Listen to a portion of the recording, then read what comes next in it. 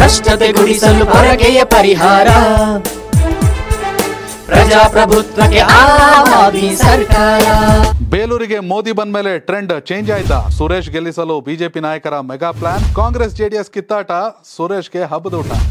ಯೂಟ್ಯೂಬ್ನಲ್ಲಿ ಸಬ್ಸ್ಕ್ರೈಬ್ ಆಗಿ ಫೇಸ್ಬುಕ್ನಲ್ಲಿ ಫಾಲೋ ಮಾಡಿ ವೆಬ್ಸೈಟ್ ಲಾಗಿನ್ ಆಗಿ ಕಂಪ್ಲೀಟ್ ನ್ಯೂಸ್ ಓದಿ. ಮೋದಿ ಬಂದರು ಬೇಲೂರು ಆಲೂರಲ್ಲಿ ಪ್ರಚಾರ ಮಾಡಿದ್ರು ಅನ್ನೋಕ್ಕಿಂತ ಹೆಚ್ಚಾಗಿ ಕಳೆದ ಬಾರಿ ಸೋತರು ಕೂಡ ಹುಲ್ಲಳ್ಳಿ ಸುರೇಶ್ ಕ್ಷೇತ್ರವನ್ನು ಬಿಟ್ಟು ಹೋಗಿರಲಿಲ್ಲ. ಕ್ಷೇತ್ರದ ಜನರ ಜನರ ಜೊತೆಗೆ ಇದ್ದರು ಕ್ಷೇತ್ರದ ಬಗ್ಗೆ ಒಂದಷ್ಟು ಕನಸುಗಳನ್ನ ಇಟ್ಕೊಂಡಿದ್ದಾರೆ. ಬೇಲೂರು ಐತಿಹಾಸಿಕ ಪ್ರಸಿದ್ಧ ನಗರಿ.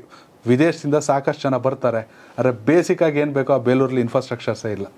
ಹೀಗಾಗಿ ನನಗೆ ಅವಕಾಶ ಕೊಡಿ ಅಂತ ನಾನು ಜನರ ಮಧ್ಯೆನೇ ಇದ್ದೀನಿ ಎಲ್ಲೂ ಹೋಗಿಲ್ಲ. ಈ ಸಲ ಒಂದು ಫಲಿತಾಂಶ ಮಾಡ್ತೀನಿ. ಏನು ನಾರ್ತ್ ಕರ್ನಾಟಕದಲ್ಲಿ ಒಂದಷ್ಟು ದೇವಾಲಯಗಳಿಗೆ ಸಿಕ್ಕ ಪ್ರಾಮುಖ್ಯತೆ ಬೇಲೂರು ಹಳೆಬೀಡಿಗೆ ಸಿಗೋಂಗೆ ಮಾಡ್ತೀನಿ. ಈ ಐದು ವರ್ಷದಲ್ಲಿ ಬೇಲೂರು ಅಂದರೆ ಜಗತ್ತೇ ತಿರುಗಿ ನೋಡಬೇಕು ಅಂತ ಮಾತಾಡಿದ್ರು.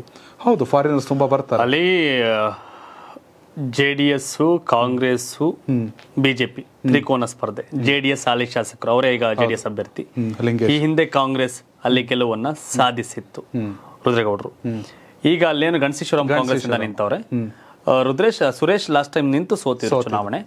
ಬಿಜೆಪಿ ಸುರೇಶ್ ಪ್ಲಸ್ ಲಿಂಗಾಯತ ಒಂದಷ್ಟು ಮತ ಸ್ಟ್ರಾಟಜಿ ಇವೆಲ್ಲ ಲೆಕ್ಕಾಚಾರದಲ್ಲಿ ನಾವು ಗೆಲ್ತೀವಿ ನಮ್ಮ ಭರವಸೆ ಇದೆ. ಬಿಜೆಪಿ ಹೈಕಮಾಂಡ್ ಸಹ ಅಮಿತ್ ಶಾ ಮೋದಿವರೆಗೂ ಸಹ. ಹಾಸನ ಕ್ಷೇತ್ರ ಬೇಲೂರು ಕ್ಷೇತ್ರ ಸಕಲೇಶ್ಪುರ ಸಕಲೇಶ್ಪುರ. ಮೂರು ಗೆಲ್ಲೇಬೇಕು ನಿಂತವ್ರೆ ಪಣ ತೊಟ್ಟು ಹಾಗಾಗಿ ಅಲ್ಲಿ ಮೋದಿ ಹೌದು ಅಂಡ್ ಎರಡನೇದು ಅತಿ ಶ್ರೀಮಂತ ವ್ಯಕ್ತಿ ಅಭ್ಯರ್ಥಿಗಳಲ್ಲಿ ಸುರೇಶ್ ಅವರು. ಚುನಾವಣೆ ಮಾಡೋ ಸಕಲ ಕಲೆಯೂ ಅವ್ರಿಗಿದೆ. ಚುನಾವಣೆ ಮಾಡಕ್ ರೆಡಿ ಇದ್ದಾರೆ ನಿಜ. ಎರಡನೇದೇನೋ ಒಂದ್ ಸಮಸ್ಯೆ ಇತ್ತು. ಸಂತೋಷ್ ಕೆಂಚಾಂಬ. ಸಿದ್ದೇಶ್ ನಾಗೇಂದ್ರ ಎಲ್ಲರೂ ಕೂಡ. ಒಟ್ಟಾಗಿ ಚುನಾವಣೆಯನ್ನ ಮಾಡ್ತಿದ್ದಾರೆ.